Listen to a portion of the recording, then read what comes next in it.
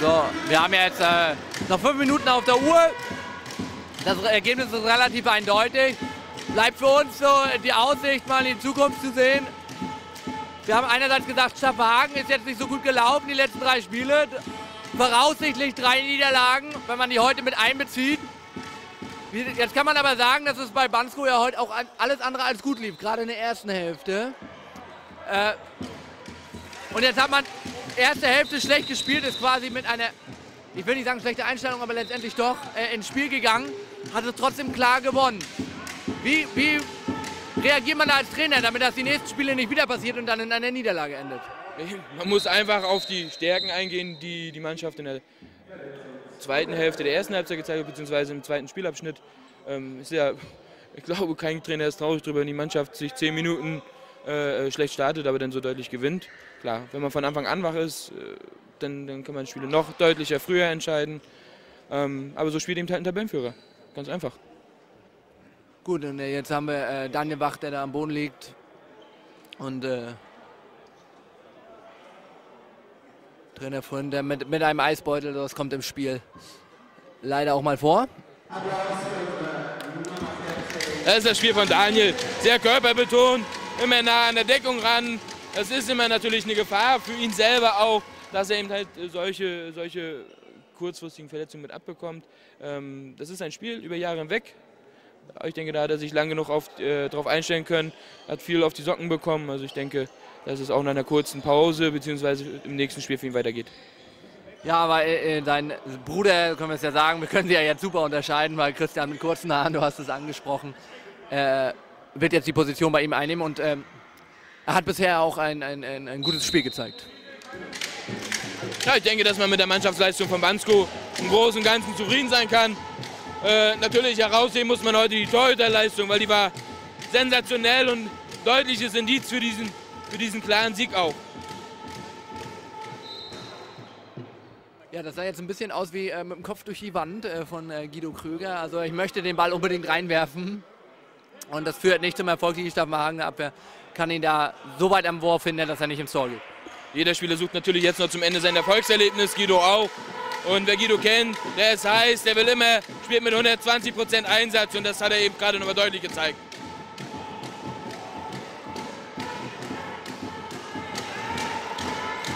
Zeitspiel angezeigt durch die Schiedsrichter.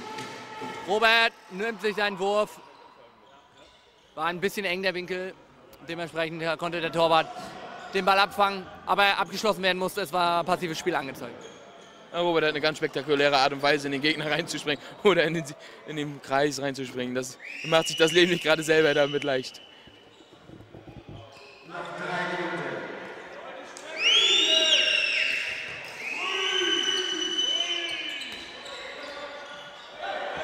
Ja, und der, der Pass an den Kreis kommt nicht. Und jetzt das nötige Glück, was du angesprochen hast.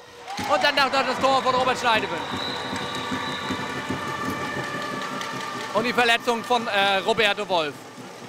Aber wieder den spektakulären Sprungspiel von Robert gesehen, der dadurch natürlich versucht, noch ein bisschen mehr an Höhe zu gewinnen, um mehr Zeit zu haben, um den Torwart zu verladen. Ja, also beide Alternativspieler, Bansko, die alternativ dazugekommen sind, Robert Schneidewind und auch Roberto Wolf vorher mit diesem Tor und äh, vorher auch äh, Roberto mit seinem eigenen Treffer. Ah, passt alles momentan äh, bei den Banskoern.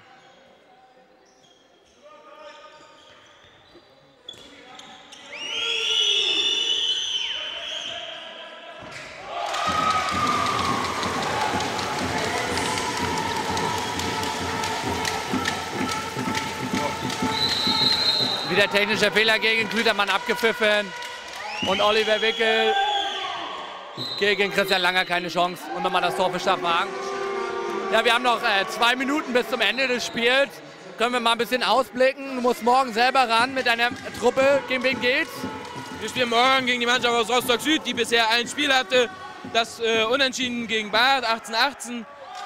Wir müssen super gehalten. Also da, da gibt es keine, keine zwei Meinungen. Der Mann des Spiels heute ganz klar Christian Lange. Nein, wir spielen morgen gegen Rostock Süd. Für uns ein weiteres schweres Spiel in Richtung Klassenerhalt. Das muss man so sehen. Und zwei Minuten nochmal gegen Lars Gütermann. Torwartwechsel nochmal 50 Meter. Ja, und wie gesagt, wir sind morgen äh, personell stark geschwächt nochmal. Wir werden vielleicht acht, neun Spieler nur zum, zum Spiel zur Verfügung haben, zwei Torhüter davon.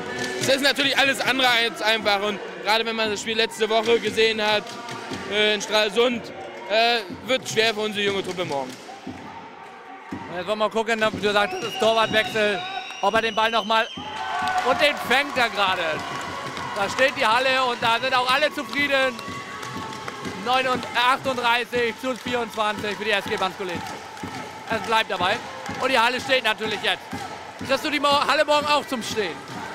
ich hoffe natürlich, dass meine Mannschaft zumindest eine deutliche Leistungssteigerung Gegensatz zur letzten Woche hat, weil da haben wir auch ohne, Leist ohne Einstellung gespielt, das muss man mal ganz klar sagen. Wir haben zu Recht so hoch verloren, das, das lag mit an uns selber. Und äh, wir haben natürlich den Vorteil, dass, mal, mal arrogant gesprochen, die erste Damenmannschaft morgen unser Vorspiel macht im DHB-Pokal gegen Nordharesli. Dadurch sind natürlich einige Leute in der, äh, in der, Halle und wir hoffen dadurch, dass einige da bleiben und unser Spiel mitverfolgen. So, jetzt passives Spiel angezeigt durch die Schiedsrichter. Christian Bach muss abschließen.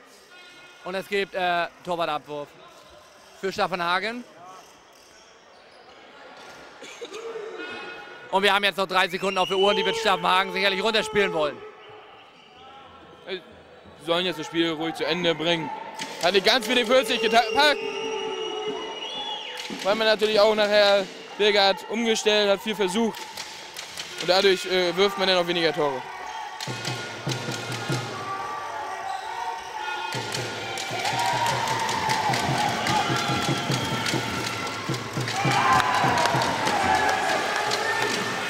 Ja, das war ein Wurf, der geht an den Kopf. Der Torwart beschwert sich nicht, aber nach Regelauslegung Würfe an den Kopf nicht so gern gesehen im Handball. Und das, das Spiel zu Ende. 38 zu 24 siegt die SG Banskolezen gegen den Staffenhagen. Der VfB bedankt mich bei Steffen Franke, dass er mir mit seinem Kommentar zur Seite gestanden hat. Wünsche viel Glück morgen fürs Spiel. Und äh, wir sehen uns dann auch morgen wieder bei euch in der Halle und gucken uns das Ganze mal an und gucken, ob seine Mannschaft das beherzigt, was sie hier heute gesehen hat. Danke.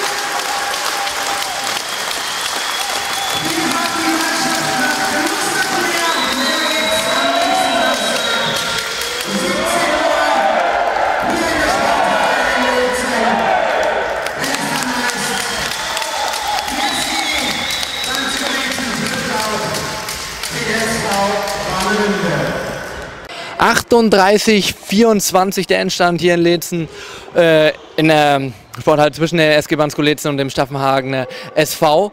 Ähm, Glückwunsch, ich habe bei mir den Trainer Bürger Frund wieder und den äh, Mann des Tages Christian Langer im Tor für die SG Bansko Letzen. Erstmal herzlichen Glückwunsch an äh, Bürger. Äh, hat am Anfang nicht so ausgesehen, als äh, hätten die Banskoer sich so gut noch rausspielen können. Was hat am Anfang, äh, was war, lief am Anfang nicht so, dass man äh, es am Ende hin so in die Richtung geht, wo man jetzt am Ende hingelangt ist. Ja, absolut richtig erkannt. Also äh, erste Halbzeit war wirklich schlecht und ganz ehrlich, ich, äh, da bin ich auch fast schon ausgerastet. Also gerade als wir drei hinten lagen, äh, ich, nichts gegen die Staffenhagen, aber gegen so eine Mannschaft und der verlieren ihren besten Mann auch noch nach zwei Minuten. Äh, da dürfen wir uns nicht so glatt anstellen. Also da müssen wir aus einer kompakten Abwehr erste, zweite Welle spielen und uns nicht da so einlullen lassen, Tore über die Mitte kriegen. Also das geht gar nicht. Also erste Halbzeit war wirklich schlecht äh, und da muss man auch, denke ich mal, drüber sprechen. Zweite Halbzeit haben sie es ein bisschen besser gemacht und dann auch verdient gewonnen nachher. Du sagtest es bereits, Sie haben Ihren besten Mann nach zwei Minuten verloren. Äh, wie hast du die Situation gesehen? Ja, es ist schon eine harte Entscheidung gewesen. Ähm, also zwei Minuten in jedem Fall. Ähm, unser Spieler, der Daniel Wach, ist durch. Er springt mit rein, hat sicherlich nicht die Absicht, ihn da wirklich zu verletzen. Berührt ihn aber, das frei im Wurf, kann man rot geben. Zwei Minuten hätten es vielleicht auch getan. Äh, war für uns jetzt sicherlich nicht zum Nachteil. Ja, äh, die Frage auch gleich weitergereicht. Äh, das war natürlich, erste Halbzeit lief gar nicht gut. Das war die Möglichkeit für dich. Du kamst dann Ende der ersten Halbzeit, hast dann die zweite Halbzeit bravourös gehalten. Dazu kommt, dass du selber bei Staffenhagen gespielt hast. Die kurze Emotionen, wie hast du das Spiel gesehen? Ja, also es war auf alle Fälle, ich habe äh, zwei Tage davor schon gebebt da vor diesem Spiel. Das Adrenalin schoss gleich ins Blut. Die ersten Bälle äh, dann gleich an die Hand bekommen und dann lief es. Ne? Und dann pusht sich die, die Mannschaft in der zweiten Halbzeit, arbeitet hammergeil in der Abwehr und dann kannst du auch als Torwart so eine Leistung bringen. Ne? Ja, ähm, wir haben vorher das Glück gehabt äh, mit äh, Perry, äh, drei äh, Spiele super gehalten. Jetzt hast du den zweiten Torhüter an der Hand. Äh, Luxusproblem? Ja, wir haben sogar noch einen dritten mit Marco Prim, also den dürfen wir nicht vergessen. Ähm, nee, ich denke mal, Perry ist schon unsere Nummer eins, also das wissen die Jungs auch. Ähm, aber nichtsdestotrotz ist es gut, wenn, wenn sich heute wie Fliese, also Christian, Fliese heißt er bei uns, wenn sie, wie sich Fliese heute gezeigt hat, das ist schon, äh, das ist schon, macht es mir schwerer auf jeden Fall, ihn nächstes, Jahr, nächstes Mal nicht mitzunehmen, sagen wir es mal so. Ja, das ist doch ein äh, großes Kompli äh, Kompliment an dich. Du sagtest, die Abwehr hat Hammer gearbeitet. Was hat äh, besser funktioniert als in der ersten Halbzeit? Du hast die erste Halbzeit ja noch aktiv auf dem Feld mitgekriegt. Also äh, es ging nichts mehr über die Mitte, der Mittelblock, die beiden Halben haben super gestanden und dann von den Außen haben sie mir einen äh, guten Winkel gegeben und dann konnte ich eben zugreifen. Ne? Und dadurch, dass ich eben die Schussvarianten noch halbwegs kannte, konnte ich nämlich mich auf die Spieler dann einstellen. Ja, nur ist es ja so, dass ich Bansko nicht mehr so doll rausreden kann. Jetzt äh, vier Spiele, vier Siege, Tabellenplatz 1 seit vier Spieltagen. Das ist Vereinsrekord. Äh, wo geht's hin? Also lange rausreden könnt ihr euch nicht mehr. Wir wollen das also alles ganz ruhig angehen. Okay, ich, ich weiß noch nicht, was letztes Jahr gelaufen ist hier, weil ich jetzt da neu zugekommen bin. Aber ich denke, wir wollen die Serie so lange halten, äh, wie es nur geht und erfolgreich Handball spielen. Und dann wollen wir mal gucken, wo wir am Ende der, der Saison stehen. Hm. Das äh, gleiche geht an dich. Ähm, nächste Woche geht es wieder zu Hause gegen äh, Warnemünde, die bisher punktfrei sind. Das haben wir, wir konnten natürlich noch nicht äh, sehen, wie sie heute gespielt haben. Ähm, wie, schaff, wie, schaffst du es jetzt, die Mannschaft so motivieren, dass sie nicht wieder solche erste Halbzeit hinlegen wie hier heute? Ja, das ist ganz einfach, weil ähm, ich werde sich einfach an die erste Halbzeit von heute erinnern und dann äh, sieht man auch gegen so einen Gegner schlecht aus und äh, deswegen werden wir Warnemünde mit Sicherheit nicht unterschätzen. Ähm, gegen Warnemünde haben wir nie sonderlich gut ausgesehen, sicherlich haben die ein paar Abgänge, wir haben zurzeit einen Lauf, aber unterschätzen werden wir die sicherlich nicht. Also ich denke schon, die Jungs, die werden das schon 100% wieder geben, müssen sie auch. Ja, das, äh, ähm, wenn es dann äh, so läuft und Warnemünde tatsächlich äh, nicht so stark ist, wie, wie Sie die präsentiert haben und es wieder so gut läuft, wo geht es dann hin für euch? Dann wären momentan sind es 8 zu 0 Punkte, bessere Ausbeute geht nicht, ich sagte es bereits, Vereinsrekord. Das macht sicherlich auch ein wenig stolz. Ähm, wenn, wenn es dann nächste Woche hier auch klappen sollte mit 10 zu 0 Punkte, hat man die halbe Miete dessen, was man eigentlich äh, sagt, was äh, den Klassenhalt ausmacht, nämlich 20 Punkte. Letztes Jahr nur 12 Punkte. Ihr hättet fast das Ergebnis vom letzten Jahr nach fünf Spielen bereits. Das äh, wäre eine fantastische Ausbeute. Wie ist das zu erklären? Ihr spielt fast mit der gleichen Truppe. Wir hatten vorher darüber schon mal gesprochen. Ihr habt Lars Glütermann als Neuzugang. Ansonsten eigentlich mit derselben Truppe wie letztes Jahr. Wie ist das zu erklären? Ja, erstmal die erste Frage, äh, wo geht's hin? Nach Ribnitz geht's danach, ganz klar. Ähm, ja, und von der Mannschaft her, sicherlich, wir hatten wir letztes Mal darüber schon gesprochen. Ähm, die Jungs, die haben in der Vorbereitung gut mitgezogen. Was heißt gut? Also, das war schon richtig gut, was sie gemacht haben. Ähm, davon zehren sie natürlich. Wir spielen viel erste, zweite Welle, was wir letztes Jahr halt gar nicht gemacht haben. Äh, das sind die einfachen Tore, die du zum Sieg brauchst. Und äh, wir werfen kontinuierlich über 35 Tore, heute wieder 38. Ähm, und dann kannst du auch mal äh, drüber hinwegsehen, dass du in der Abwehr nicht so gut stehst. Und von daher ähm, ja, ist das sicherlich eine einzig und alleine Trainingssache und das haben die Jungs sich selber verdient. Also können die auch stolz drauf sein, wie es bis jetzt läuft. Mhm. Noch so eine letzte abschließende Frage. Was hast du dir persönlich vorgenommen für diese Saison? Was möchtest du für dich persönlich erreichen bei der SG Wanskolezen? Ich will auf alle Fälle den Spaß am Handball haben und das, das passt hier in der Truppe einwandfrei. Und dann wollen wir mal gucken, wo es hingeht. Ne? Ich möchte so viel wie möglich spielen, mich so oft wie möglich anbieten und dann werden wir sehen, wo, wo die Reise hingeht. Ja, dann äh, wünsche ich dir viel Glück dabei, euch beiden natürlich viel Glück mit der SG Banskolezen im äh, weiteren Saisonverlauf der MV-Liga. Und wir sehen uns dann wieder hier zum nächsten Heimspiel gegen äh, den SV Warnemünde. Und äh, wir sehen uns dann äh, wieder bei den nächsten Spielen von Sport in Schwerin. Vielen Dank.